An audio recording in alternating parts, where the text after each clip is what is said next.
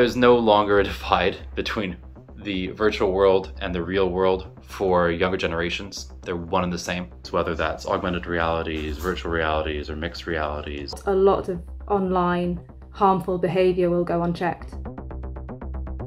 Just because a methodology worked online five years ago doesn't mean it'll work online today.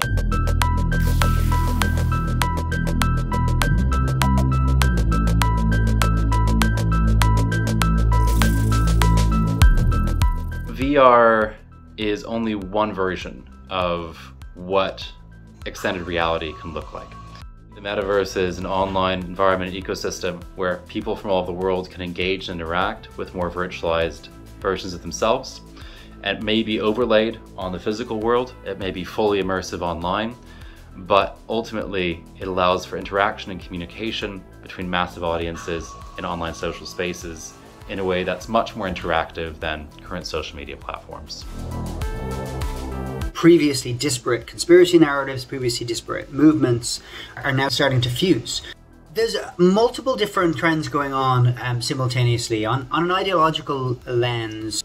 So, the first thing we need to do is um, make sure that we're talking accurately about who the actual at risk audience is. And it's not just young people, it's people across the board. We need to be targeting audiences on the basis of their interests and the basis of the reason that they're getting involved. There can be people who are getting involved with conspiracies or with extremism um, because of uh, underlying mental health vulnerabilities across all ages. We're finding that concerted disinformation campaigns are happening a lot more on social media platforms. It's much more difficult to find out where it's happening as a result. Most things are completely concealed behind memberships, logins. Essentially, they've been removed from the open source and more into private networks. The main PCV challenges online right now are content that are in languages that are not English. Chinese, German, French really lag behind. Secondly, decentralization of uh, communication approaches. Encrypted channels are huge. And thirdly, I think we're not hitting users where they're at right now lots of people are immersed in, in gaming environments. When we start to be using these virtual personalities in a way where we're interacting with each other in a much more realistic way, there's going to be huge steps in how we interact with each other and how we assimilate information.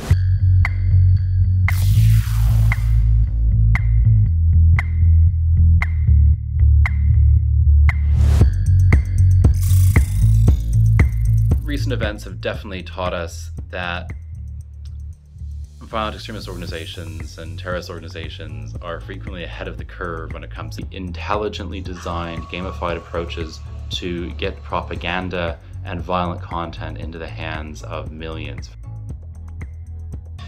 The Buffalo shooter incident, for example, showed us a continuation of live streaming fused on with gamified elements. We're going to have a very different threat ecosystem in the coming years.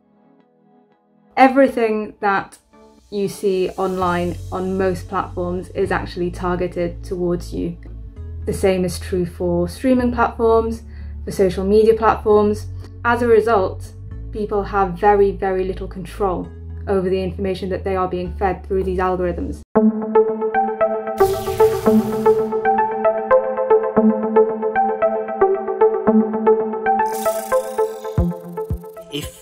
Working with vulnerable people who are spending time online, you have to understand the environment in which they're operating. Whether it's policymakers or parents, not demonizing technology and taking the time to really understand the benefits um, is essential to keeping people safe when we're talking about any emerging technology is understand where there are real threats and where it's just something that an older generation doesn't understand. Uh, we need to remember that there were congressional hearings into comic books in the 1950s that, because comic books are ruining children. Chief Alvo, what have you learned in, so far in your investigation on the subject of comic books? And it is directly responsible for a substantial amount of juvenile delinquency and child crime think the key thing really is finding out where young people are most active and understanding how they are active on these platforms, what their behaviours are, what typical interactions look like. Because without understanding those as a first step, it's very difficult to establish how best to reach them. let's bring in some of the most brilliant thinkers from the tech space to have chats with practitioners as well. And I think drawing in some folks who like to call themselves futurists or technologists into this field would be great. And we ought to be trying to retool algorithms to promote better, diverse conversations and not just stale, dark rabbit holes.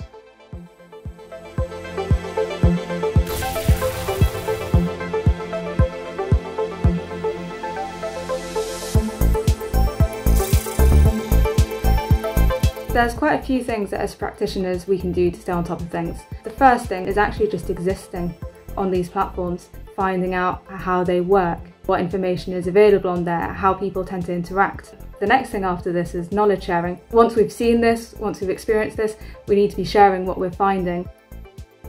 The other thing is just being aware that what you're being shown and how you're experiencing a platform isn't necessarily going to be how the people that you're trying to understand are experiencing the platform.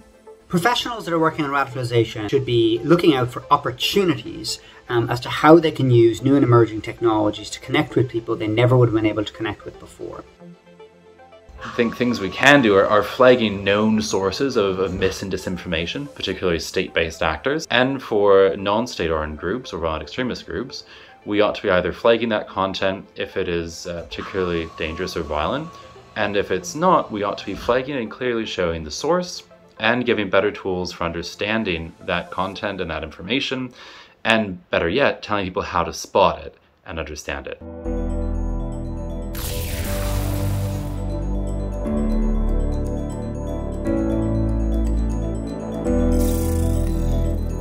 Social media, these platforms, the metaverse, they can all be used for good. It can be a great step for us, for other kinds of information sharing is just making sure that you know we're all aware of the risks.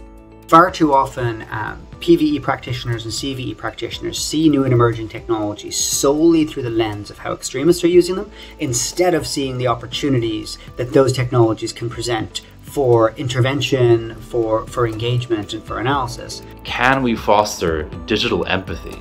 Can we foster digital resilience by building broader communities? Absolutely there's such potential there. And there's so much excitement there to also build more narratives and more stories that people want to engage with and want to feel uplifted by.